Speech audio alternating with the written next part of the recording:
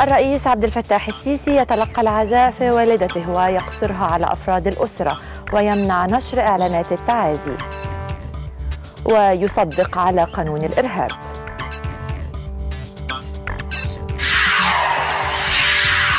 وانخفاض تدريجي في درجات الحرارة مع استمرار ارتفاع نسبة الرطوبة. ووزير الزراعة يحيي القيادات بالإصلاح الزراعي للنائب العام. ومصر تعلن حالة الطوارئ لمواجهة فيضان النيل.